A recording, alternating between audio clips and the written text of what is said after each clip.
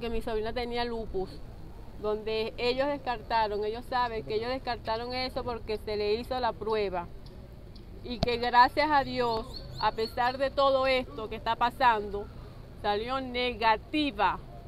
Y por eso hoy pido justicia. Yo quiero que se le haga justicia a mi sobrina.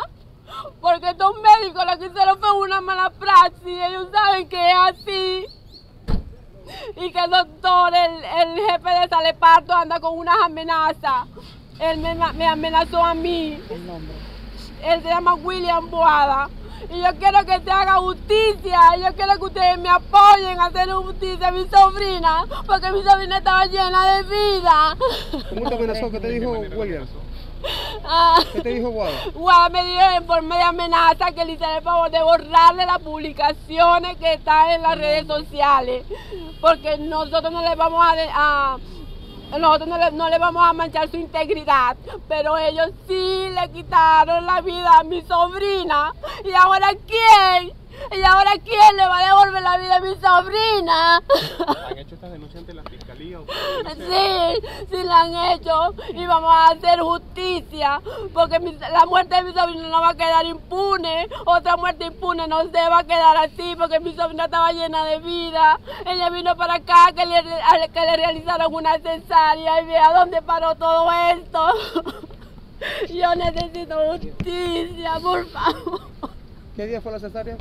La cesárea se la practicaron el día, el día martes 14, donde ya le, le habían realizado tres, tres intervenciones por esa mala práctica que ella le hicieron.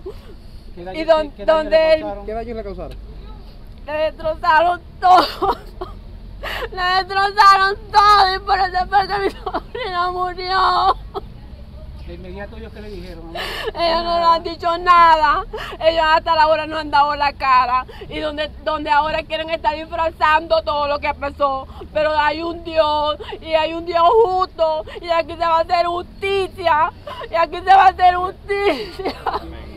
¿Cuánto tiempo pasó en terapia ella? Ella estuvo en terapia desde el, desde el viernes, el viernes 17, hasta hoy que falleció. ¿A qué hora, amor? fue? ¿Qué hora falleció? Ay, yo no sé ni qué hora. La tuvieron en Saleparto tres días sin ninguna atención. ¿Cómo, cómo es la cuestión? La tuvieron en Saleparto tres días. Tres días. Marjorie Martínez, tía de la, de la fallecida hoy también. De-